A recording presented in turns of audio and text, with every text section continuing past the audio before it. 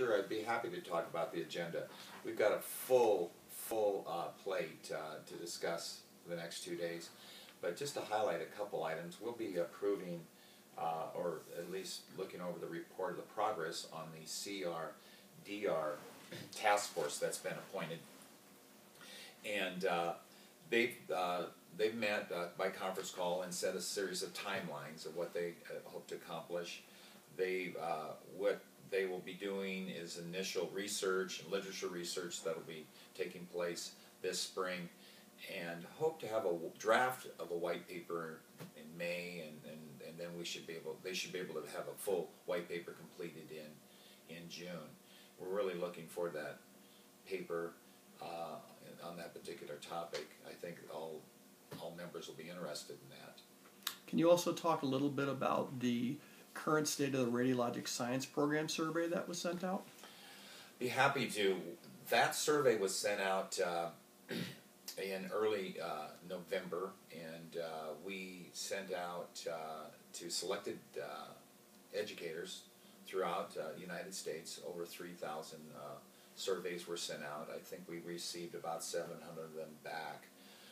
we will be looking over that survey uh, at this meeting before it goes out to the members.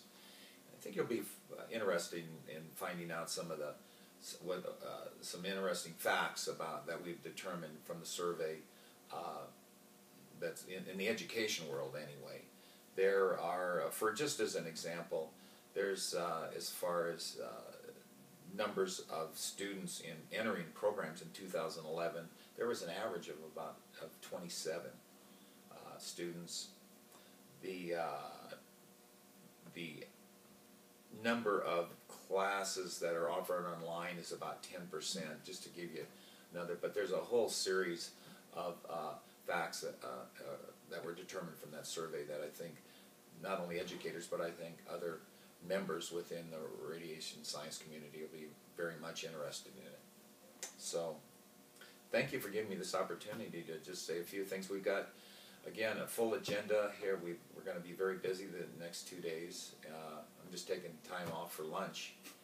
And uh, we're, uh, we're fortunate to have a great board this year that is just especially uh, does their homework, asks critical questions, and, and uh, makes uh, very informed decisions.